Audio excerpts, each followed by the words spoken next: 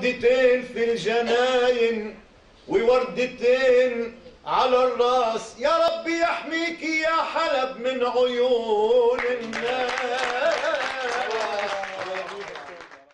للطرب والقدود والغناء في حلب ركنها الخاص.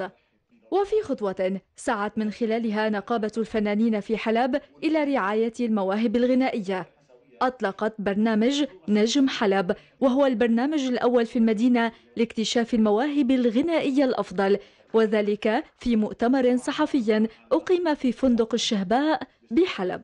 أهمية هذا البرنامج إني هو ما بصنع نجم، نحن مو نجم من حلب، بس نحن ما عم نصنعه حاليا، نحن عم نعطيه المفاتيح ليفتح أبواب النجومية، نحن عم ندله على الطريق، أنا واحد عم بفكر كيف يصير نجم أو كيف يصير مطرب كبير، بس ما بعرف ضايع متخبط، أنا جبته على دورات عم بعلمه، رح أطلعه على المسرح هلأ، أعلمه شلون بيخطي خطوات النجومية، ولكن نحن عم نعطيه أول درجة، نحن عم نطالعه على أول درجة، باقي الدرج رح يكون هو شغال فيه بدعمنا ودعم الشباب الطيبة.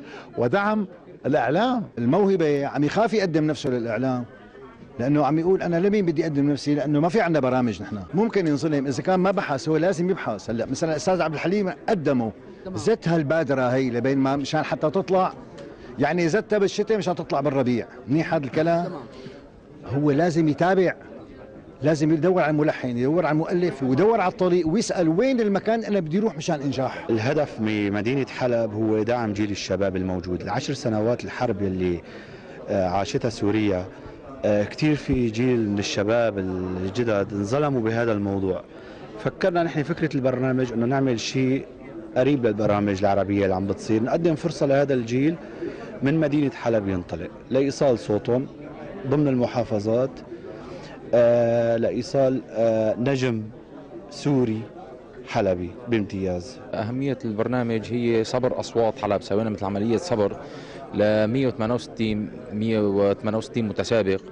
آه، طبعا اخترنا منهم آه، ال 22 شاب يلي آه، بقيوا معنا.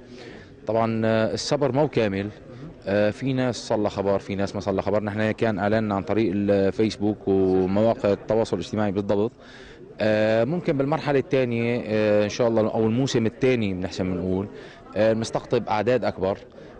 بننتقي أصوات أحلى. دورات تثقيفية لمدة شهر كامل. تتضمن محاضرات من مختصين تزيد من ثقافة المواهب المشاركة في كيفية الغناء وصقل الصوت والوقوف على المسرح.